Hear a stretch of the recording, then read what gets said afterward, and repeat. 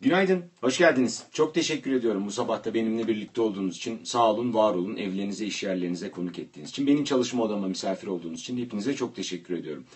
E, haftanın sonuna geldik. Biraz ittire ittire geldik. Zor bir hafta oldu hakikaten. Şuna bir dokunalım mı hemen? Ha, herkes çağırsın arkadaşlarını, dostlarını. Günaydın Rojba, Rojbaş, Pariluz.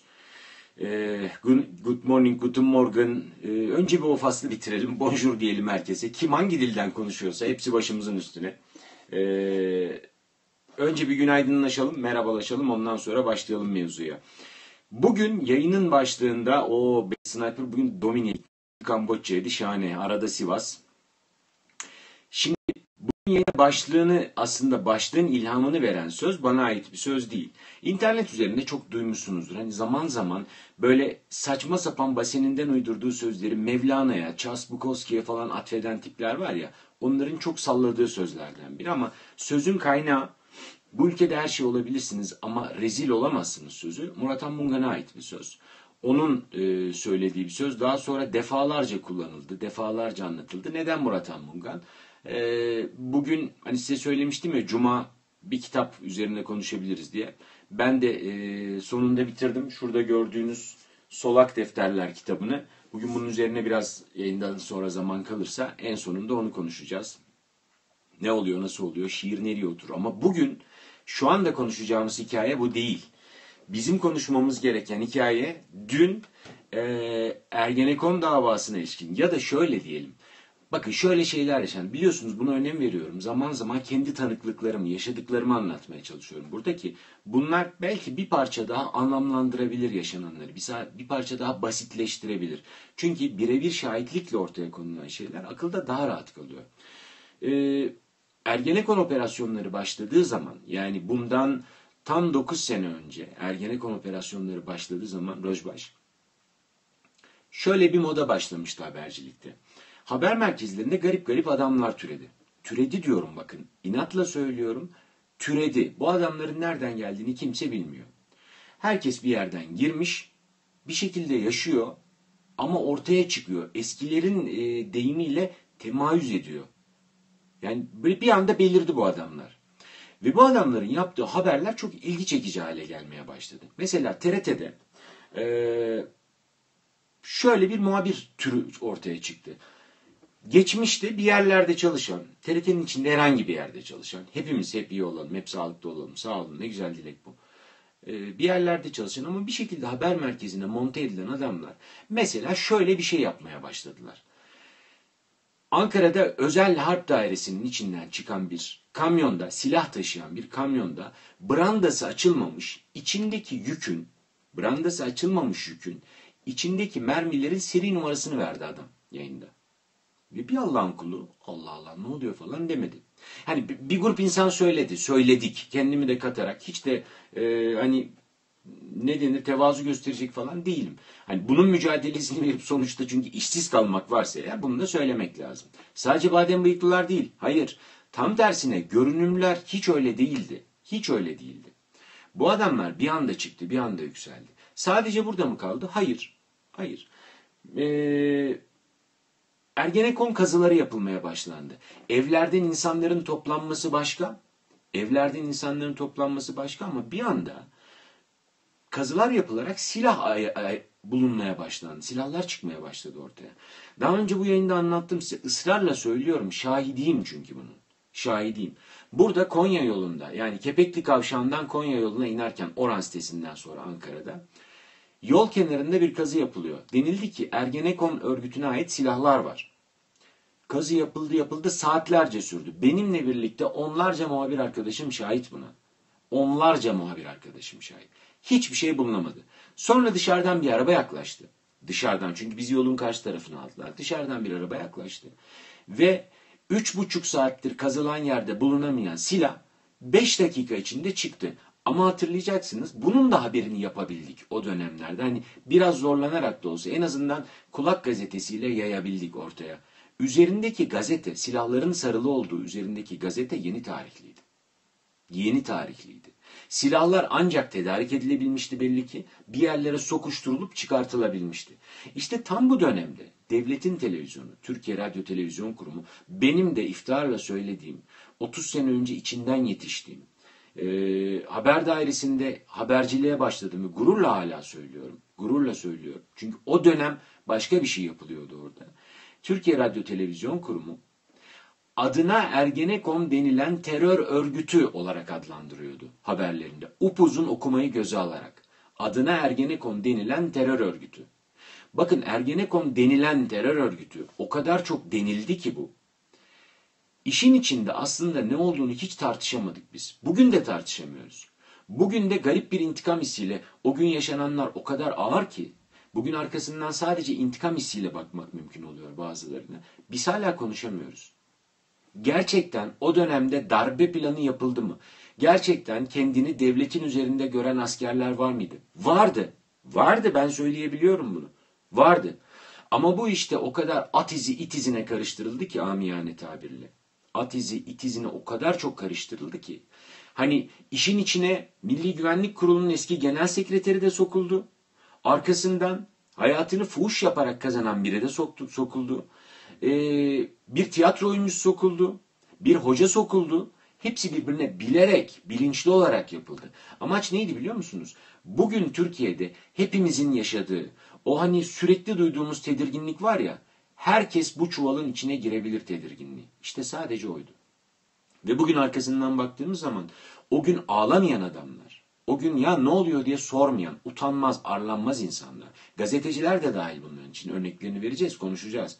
Gazeteciler de dahil o utanmaz, arlanmaz insanlar bugün sadece içinden kahramanlık bölümünü çıkartıp haber yapıyorlar. Oysa o gün ağzının kenarından, ağzının kenarından salyalar akıtarak bu haberleri alkışlamışlardı. İçeriğine bakmadan. İçeriğine bakmadan. Sırf bu işi güçlendirebilmek için yani Ergenekon iddiasını o her şeyin birbirine sokulduğu, at izinin it izine karışarak ortaya konulup hepimizin hayatlarına sokalandığı o abuk sabuk organizasyon içinde sadece buna destek olmak için bir gazete çıkartıldı Türkiye'de. Ve bu işin o gazetenin patronu, o gazetenin baş yazarı, o gazetenin genel yayın yönetmeni bugün çıkıp Ahmet Altan hepimize gazetecilik dersi veriyor. Diyor ki gazetecilik, medya büyük bir baskı altında. Büyük bir baskı altında. Ve bu baskı Türkiye'de medyanın ilerlemesini zorlaştırıyor. Bavullu gazetecilik kavramını Türkiye'ye getiren, Türkiye'yi bu saçmalıkla, bu pislikle tanıştıran insan bugün gazetecilik etiği dersi veriyor hepimize. Sadece bu mu? Hayır. Geçmişten kalma askerle yaşadığı, haklı ya da haksız, pek çok sıkıntılı dönemin intikamını almak isteyen, adı e, ne diyelim hani sonradan liberal oldu ama sonradan liberal oldu ama aslında geçmişin solcuları eski tüfek falan değil öyle tüfek olmaz o tüfek patlamaz çünkü. Eskiden de dandikmiş belli ki altı boşmuş. O adamlar sadece düşmanımın düşmanı dostudur felsefesiyle bu adamların dibine geldi.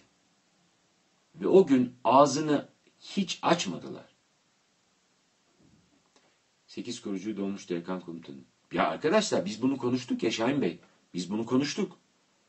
Yani bu ülkede yapılmamış hikayeyi söylemedik burada. Yapılanların kim tarafından yapıldığı önemli olmadan konuştuk. Hala böyle tartışacağız. Böyle tartışmak zorundayız. Yoksa bugünkü güzellemelerin ardına takılırsak bundan ekmek çıkartmak çok kolay. Ama bizlere yakışmaz o. Olmaz. Onu yapanlar var zaten. Geçmişte diyorum ya ağzının şurasından salyaları akarak bu haberleri destekleyen insanlar bugün şöyle bir şey söylüyorlar. Bakın eski gazetelere şerefsizler neler yazmıştı. Biz o gün de dik durduk. Yalan söylüyorsun. Sen dik falan durmadın. Sen o haberlerin arkasına saklandın. O haberlerin yarattığı güvenceli ortamın arkasından kafanı şu kadar çıkartarak baktın hayata. Ama bugün herkes rahat rahat sallayabiliyor. Gazeteleri birazdan göreceğiz ama biraz değişik göstereceğim ben bugün gazeteleri size.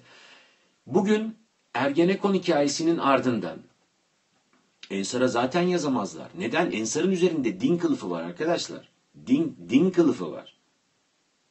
Onu saklamak çok daha kolay. Arkadaşım aşağıda troll var galiba. Güzel kardeşim bak kaşınma otur bir yerde sakin sakin sakin sakin dinle. Tamam Dinlemeyeceksen lütfen ayrıl git. Kaşınma ama ne olur. Çok hayatımızı ilgilendiren bir şey konuşuyoruz. Anlamaya çalış bir yerinden olur mu? Onun üzerinde Ensar Vakfı'nın üzerinde din kılıfı olduğu için ona dokunulamayacak. Hiçbir şey söylenmeyecek. Dün konuştuk işte Ecem Hanım söylüyor.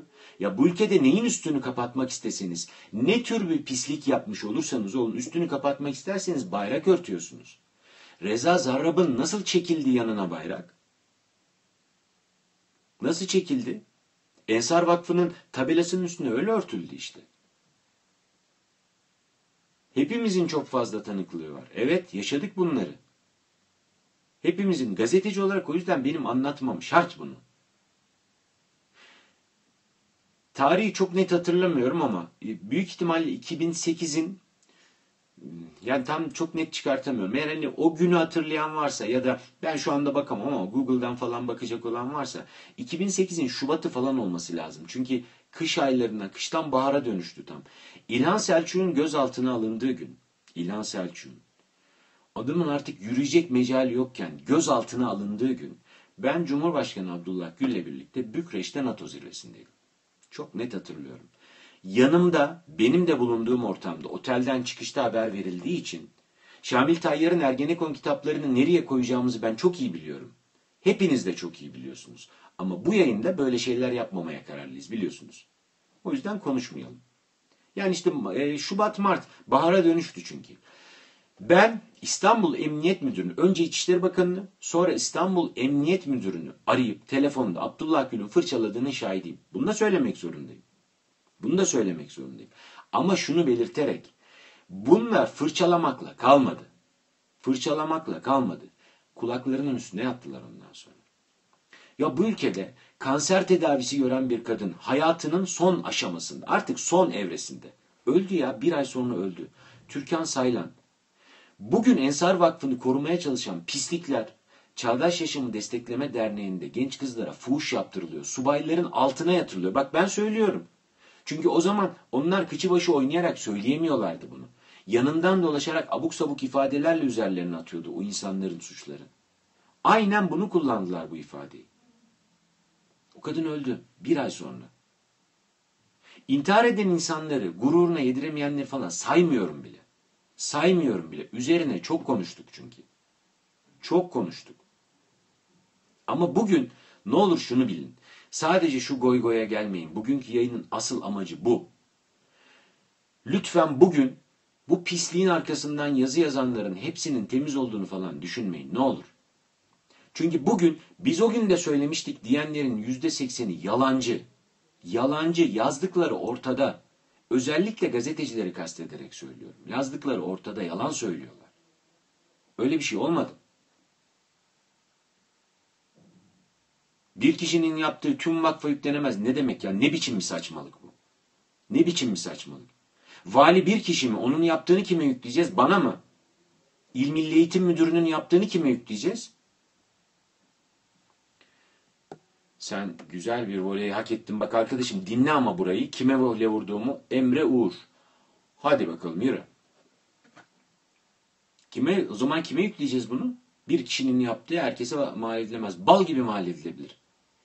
Eğer bunlar yaşanırken 10 yaşında çocukların ırzına geçilirken o çocuklar o evlerden çıkartılıp, o yuvalardan çıkartılıp kiralanmış evlere götürülüyorsa hepsini o kişilere mal ederiz biz. Hepsini.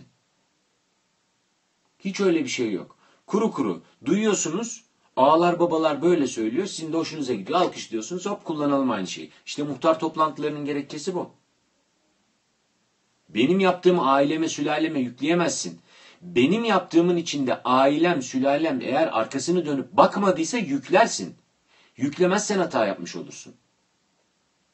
Bu insanlar böyle yaşadılar çünkü. Bu insanlar böyle yaşadılar. Görmezden geldiler o çocukların çektikleri çileleri.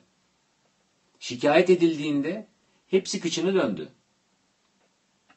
Çocuk çıkartıyor çocuk. Adam bir devletin elinde olması gereken, devlet kanunları gereği açılması gereken ama kaçak açılan, yine de devletin denetiminde olması şart olan bir yerden çocukları çıkartıyor, bir ev kiralıyor, oraya götürüp günlerce tecavüz ediyor. Ensar Vakfı bu adama sahip çıktı. Ensar Vakfı bu adama sahip çıktı. Hiç başka bir şey anlatmayın. Neden sahip çıktı biliyor musunuz? Başta yalan söyleyerek. Bizde sadece eğitmen 6 ay çalıştı. Yalan. 3 sene. Adam diyor ki 3 yıl evinde kaldım. 3 yıl. Biz bunları tanımıyoruz. Bu adamlarla görüşmedik. Fotoğrafları var. Beraber vali ziyaretleri var. Vali. Vali ziyaretleri var. Ensar Vakfı bu adamlara sahip çıktı. Bu adama. Sadece bir kişiden bahsediyoruz şimdi. Onun için işte davanın, duruşmanın sonunda adamın söylediği laf boşa değil. Ensar da kayınder de kendini akladı olan bana oldu diye. Beter olsun ayrıca. Beter olsun onu unutmayalım da. Hiç böyle bir şey yok. Neyse biz konuyu çok saptırmayalım. Bakın sizden tekrar rica ediyorum ne olur. Bugün gazeteleri okurken biraz daha. Ha işte evet sevgili Yalçın'ın söylediği doğru. Kamu gücünü kullanarak yaptırıyorlar bunu. Bugün gazeteleri okuduğunuzda lütfen bu arkadan goy goy yapan adamların biz o gün de söylemiştik bugün de aynı yerdeyiz. Hepsinin yalan söylediğini bilin ne olur. Çünkü o gün bu işin arkasında duran insanların yüzde doksanı işsiz zaten şu anda eğer gazeteciyse. Yüzde doksanı işsiz. Kalan yüzde onun içinde de hala mesleğini dik durarak yapmaya çalışan, burada içeride duran adam ya arkadaşım bak hakikaten saçmalıyorsun. Adamın ifadelerini okudunuz mu? Adamın ifadelerini okudum. O yüzden işte ifade değiştirdiğini senin dikkatle incelemen gerekiyor. Yani adamın orada söylediği her şeyini baştan sona anlatıp ve orada adamın ifadesinden çok bir parça vicdanın varsa çocukların ifadelerini oku. Miden kaldırıyorsa. Bana ne adamın ifadesinden? Okudum ama bana ne? Çocukların ifadesini bir oku bakalım. Tutuyor mu çocukların ifadesi birbirini? O evlerden nasıl çıkartıldıklarını gör. Nereye götürüldüklerini gör.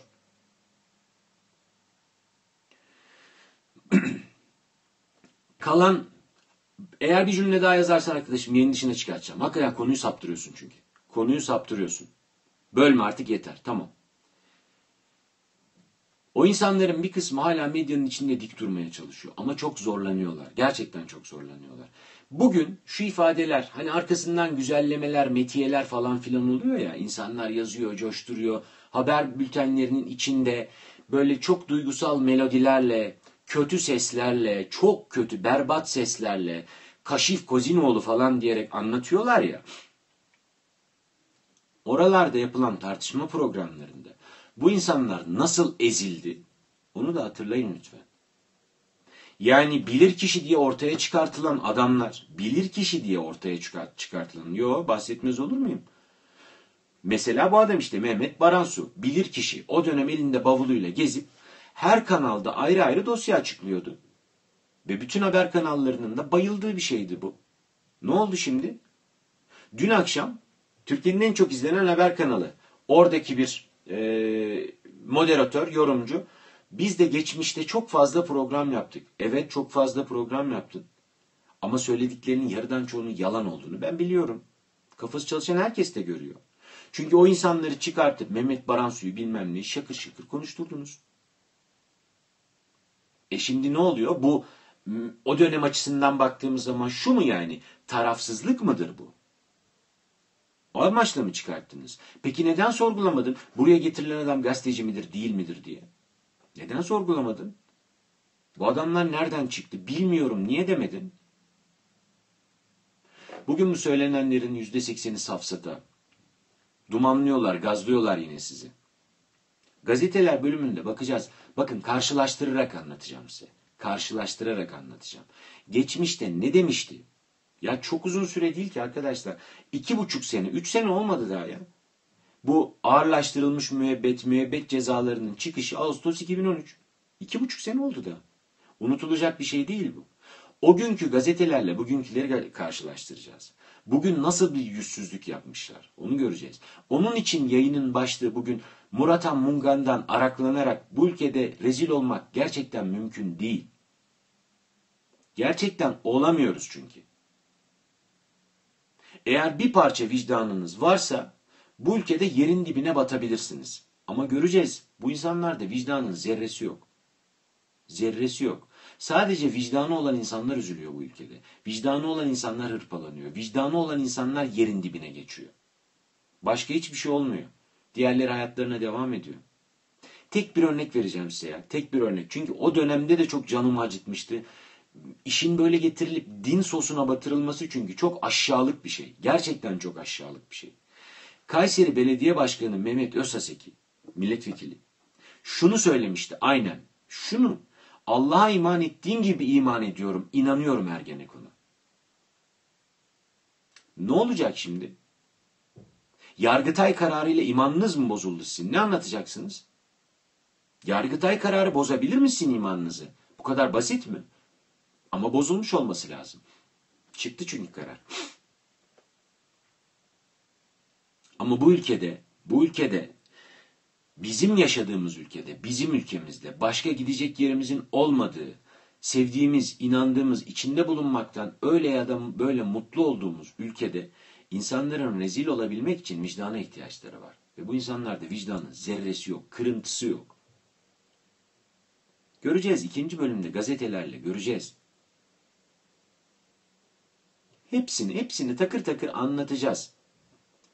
Çünkü biz anlatmazsak, biz bir şey söylemezsek bu adamlar geçmişte yaptıklarını çok rahat unutturuyorlar ya. Çok rahat unutturuyorlar. Yargıtay kararı yalın gerçeği, ort yalın gerçeği ortaya koymuyor ki. Bakın benim anlattığım bu değil Süleyman Bey. Yargıtay kararı elbette ya biz burada daha önce yargı kararlarını eleştirmedik mi? Yargı kararlarını eleştirmedik mi? Eleştirdik değil mi? Yargı kararı eleştirilebilir. Burada içinde söylenen. Ben tek tek detayına girmedim ama istiyorsanız uzun uzun da konuşuruz. Bakın burada Türkiye'de hukukun en üst normu. Neden biliyor musunuz? En üst normu. Yani Anayasa Mahkemesi'ne bireysel başvuru hakkı var elbette. Ama onun üzerine iktidar öyle büyük bir tartışma başlattı ki, öyle büyük bir kıvranma başlattı ki, onların da kabul ettiği bölüm olarak söylüyorum bunu. En üstünde Yargıtay eliyle dün denildi ki, buradaki deliller sahte. Hukuk fakültesinin birinci sınıfındaki bir öğrencinin, boş verin avukatı, savcıyı, yargıcı, hepsini boş verin. Hukuk fakültesinin birinci sınıfındaki bir öğrenci ya da kafası çalışan, üniversite okumuş herhangi bir insan eline anayasayı, anayasayı alıp çok basit maddeleri okuduğu zaman her şeyi bir kenara bırakın.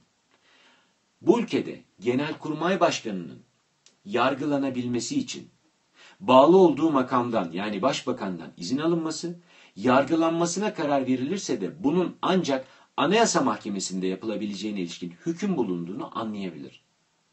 O dönemde bunu çok basit şekilde izah etti insanlar. Ama yargının etrafı toparlandığı için bugün hani alkış tutan adamlar var ya, biz o gün de karşı çıktık falan diyen yalancılar. Onların desteğiyle bu iş unutuldu. Ya bu kadar yalın bir gerçek, bu kadar yalın bir gerçek. Hayır denildi. Yargılayabilir. Ve bu 9 sene sonra tasdik edildi. 9 sene sonra. 9 yıl ya. Biraz vicdan, biraz izan. 9 yıl. Bu ne biliyor musunuz? İşte hukuku istediğin şekilde evirirsen hangi taraftan olduğunuzu olduğunuzun hiçbir önemi yok. Burada konuştuk ya ya. Burada konuştuk. 367 kararının Basen'den uydurulması ne kadar ortadaysa işte bu kararın uydurulması da o kadar ortada. Sen Cumhurbaşkanı seçemezsin. Açılıştan itibaren 367 üye lazım. Kim diyor? Yargıtay Onursal Başkanı. Yargıtay Onursal Başkanı saçmalıyor. Saçmalıyor. Ama o dönemde laik kesimin elinde bir koz olduğu için Türkiye'de onlar da herkes kendi tarafını toparlamak için ağzını açmadı. Alkışladılar, haberler yapıldı. Haberler yapıldı. İşte ben de onu söylüyorum Süleyman Bey. Niye tartışıyoruz ki biz? Yargıtay kararı mutlak karar değil. Ben de onu anlatıyorum. Yargı bu kadar değiştiriliyor diyorum zaten. Ve herkes kendi kendi tarafına göre değiştiriyor yargıyı. Birileri laik hukuk, laik hukuk deyip 367 karar gibi saçmalığı koyuyor ortaya. Bu ülkede Cumhurbaşkanlığı seçimini geciktiriyor. Sadece o da değil. Sadece o da değil. Cumhurbaşkanlığını geciktirmenin dışında bu ülkede sistemi kökünden dinamitleyip bozuyor. Kökünden dinamitleyip bozuyor ve bunu hukuk adına yapıyor. Diğeri böyle bir saçmalığın üzerinden 9 senesini, insanların canlarını yok etmek pahasına 9 senesini çalıyor. Ama o 9 seneyi çalmakla kalmıyor. Adalet Bakanı, bu ülkenin Adalet Bakanı, Ensar Vakfı'nın davasından çok mutlu olduğunu açıkladı dün. Neden biliyor musunuz? Etrafında ya iyi de valiyle ilgili falan bir şey yapılmadı buna ne diyeceksiniz diye soracak gazeteci. Bırakılmadı çünkü. Çünkü aynı Adalet Bakanı, aynı Adalet Bakanı Can ve Erdem'in tutuksuz yargılanmasına hükmeden Anayasa Mahkemesi kararını önce alkışlayıp ardından inandığı reisi, lideri çıkıp bir dakika ya saçmalıyorsun falan filan dediğinde ertesi gün bu da ayıp oldu diyebilen bir adam.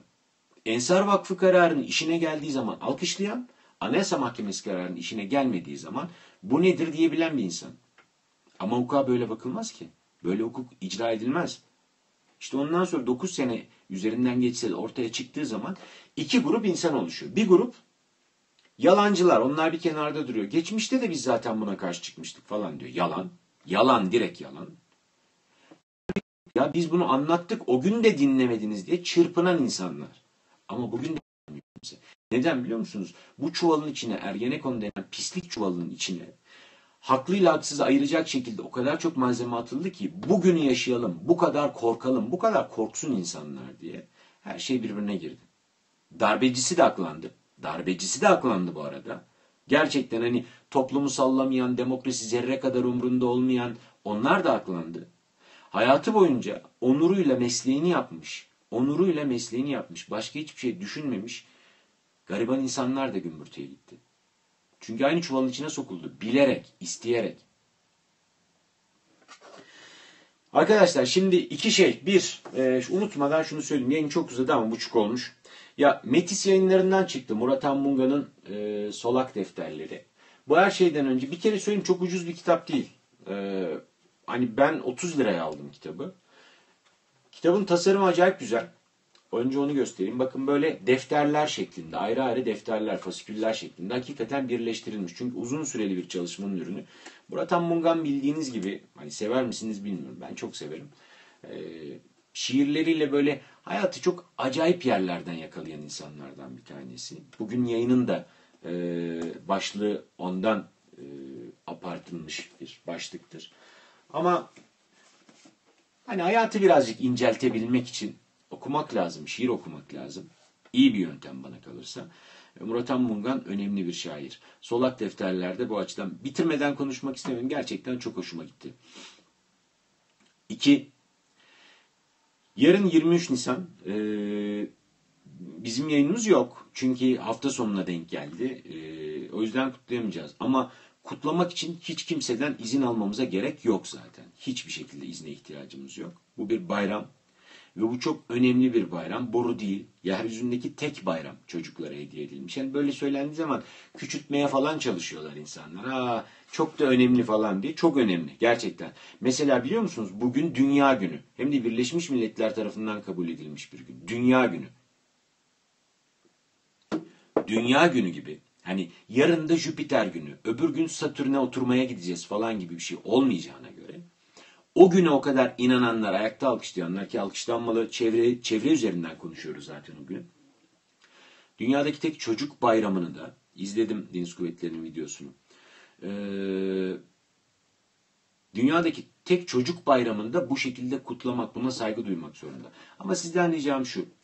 Ya emirle bayram kutlanmaz. İçinizden gelmiyorsa kutlamayın. Ama içinizden geliyorsa boş verin kendi nişan yapıp bu bayram şehitlerimiz var falan diyenleri sallayın. Hikaye onların hepsi. Hikaye. Siz gönlünüzden geçtiği gibi kutlayın. Çocuklarınızla kutlayın. Az buz şey değil. Az buz şey değil. Yani e, onlarca yıl hayatını savaş meydanında geçirip ondan sonra kurduğun cumhuriyetin içinde en önemli gününü, demokrasinin başladığı günü Türkiye'de çocuklara armağan etmek boru bir iş değil. Gerçekten değil. Kutlayın kutlayalım. Yarın Çankaya Belediyesi'nin resepsiyonu var. Ee, hani kimse kutlamazsa biz kutlarız hiçbir sıkıntı yok diye. Cumhuriyet güzel kardeşim sana ben hakikaten başarılar diliyorum. Çok zorladın hayatı çünkü. Bak burada dur. Akraban şehitken sevin demiyorum sana. Bayram kutla diyorum ama ısrarla nereye götürmeye çalıştığın belli yeter. Haddinden fazla durdun. Yürü. O yüzden Çankaya Belediyesi Cumhuriyet Gazetesi ile birlikte biz kutlarız dedi. Yani hiç kimsenin böyle hoppa halaylar çekecek, bağıracak, çağıracak falan günü değil. Ama bugün kutlanmak zorunda, unutulmamak zorunda. Biz de kutlayacağız. Aynı şekilde biz de kutlayacağız. Çocuklar, çocuklar için her şey zaten yapılmalı. Hele böyle bir ülkede, hele böyle bir ülkede çocukları dayakla, şiddetle, tecavüzle tartıştığımız bir ülkede çok daha önemli ayrıca bu bayramı kutlamak. Ee, üç, bu da benden bir duyuru. Bilmiyorum gördünüz mü ama bu sabah karşıgazete.com'da bir söyleşi çıktı. E, gazetenin genel yayın yönetmeni sevgili Kemal Kurmamut'la bir söyleşi yaptık geçen hafta. Ankara'ya geldi. Onunla bu yayınları neden yaptığımı anlattım. O sordu ben anlattım daha doğrusu. E, bu yayınları neden yaptı? Patrondan korkmamak ne demek? E, gerçekten bir ışık var mı? Gazetecilik şu anda nerede? Benim gördüğüm, benim bildiğim kadarıyla dilim döndüğünce anlatmaya çalıştım. Eğer onu da okursanız e, sevinirim. Hem görüşlerinizi de paylaşın. Ee, bu kadar. Bugünlük bu kadar. Bu yayını bir yarım saat kadar sonra medyascope.tv adresinden izleyebilirsiniz. Ben de bir 10 dakika sonra gazetelerle burada olacağım ama gazeteleri kıyaslayacağız. Lütfen unutmayın. Gazeteleri kıyaslayacağız. Yani çok uzun süre önce değil ya. Tekrar söylüyorum. Ağustos tam tarih hatırlamıyorum da Ağustos 2013. Ağustos 2013'teki Ergenekon kararı o ağırlaştırılmış müebbetler, müebbetler, müebbet artı 30 seneler falan çakıldığında neler yazmışlardı bugün neler yazıyorlar üzerinden gideceğiz ve bu ülkede utanmazlık hakikaten nasıl rahat başarılabilen bir şey bunu göreceğiz. Rezil olmamak Murat Anmunga'nın söylediği gibi her şey olup rezil olamamak neden kaynaklanıyor bunu konuşacağız. Bir 10 dakika sonra ben burada olacağım. Ee, uygunsanız o yayına bekliyorum. Değilseniz Pazartesi sabah ölmez sağ kalırsam 9'da buradayım. Siz de gelirseniz yine oturur konuşuruz. Açık açık kıvırmadan, eğip bükmeden, ona yaranır mı, bunu kızdırır mı diye düşünmeden. Ne biliyorsak, ne görüyorsak onu konuşmak üzere bir araya geleceğiz. Çünkü tek başına bir şey yapma şansımız yok. Çünkü kurtuluş yok tek başına. Ya hep beraber ya hiçbirimiz. Güzel bir gün, güzel bir hafta sonu diliyorum. Hoşçakalın.